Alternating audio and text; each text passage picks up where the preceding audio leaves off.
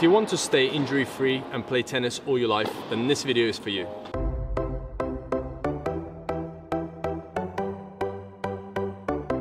Firstly, we need to get the correct equipment. Let's start with the shoes. Make sure that your shoes are tennis shoes.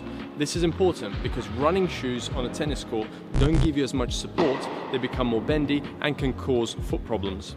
You also get better cushioning and better protection with your tennis shoe. Some players like to wear insoles. Make sure that you have good arch support so that your foot alignment is correct. Again, reducing that injury when you're moving around the court. Next, it's all about choosing the correct racket. You want to get the right weight for you so that you don't get injured with your upper body. Often tennis players get injured in their wrist, the elbow and the shoulder because their racket weight is not correct for their game.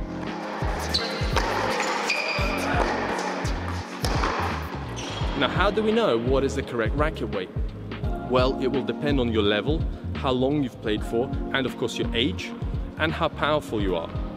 If you're playing against players that are hitting the ball very hard and you're playing at a high level, you're more likely to go for a racket that's a little bit heavier. I would recommend going above 300 grams. For a junior player, someone who's just starting out, you want to go below 280 grams. Maybe a 260 grams uh, racket could be appropriate. You have to try the racket and feel the weight that you're comfortable with. You want to be able to swing the racket around freely. But remember that the lower the weight, the more the racket will vibrate against a fast moving ball.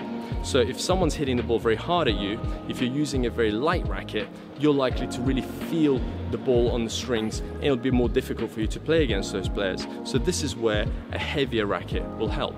But for the heavier racket, we need the appropriate technique. So make sure that you're working on your, your technique continuously to make sure that it's efficient. Not warming up for tennis is a major cause of injury. So here are some basic exercises that you can do to make sure that you're prepared to play. Normal jog.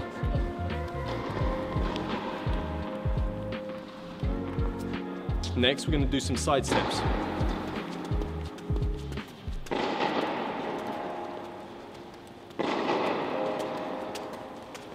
And you can take short steps where you go really quick, or you can do wide steps where you try and cover distance. This is great for that lateral movement that you're going to experience in the point. Next, some crossover steps.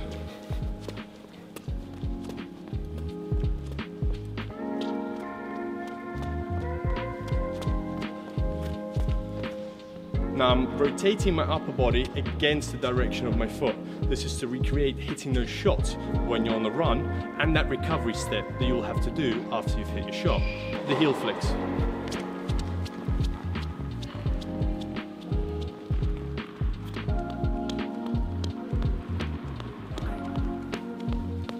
Now go forwards and back because in tennis we're moving forward and backwards constantly. So make sure you recreate it in your warm-ups as well. Now lunges are important for both your ground strokes because you have to get into those positions nice and low to generate power from the ground, but also for your volleys when you're coming in, you're stepping forward, so you need to be strong with your legs. So it's a great idea to warm all those muscles up before you play. Now you can do different types of lunges.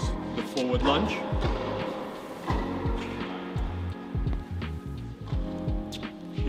side lunge.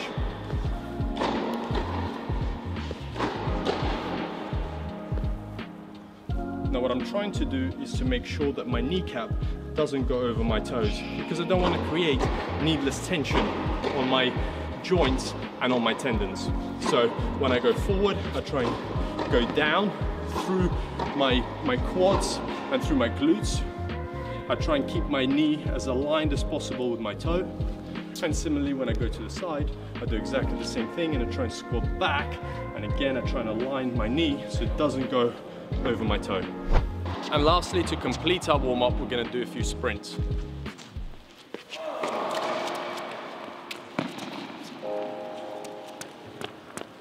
And you can do a few in a row where you go back and forth and get that change of direction.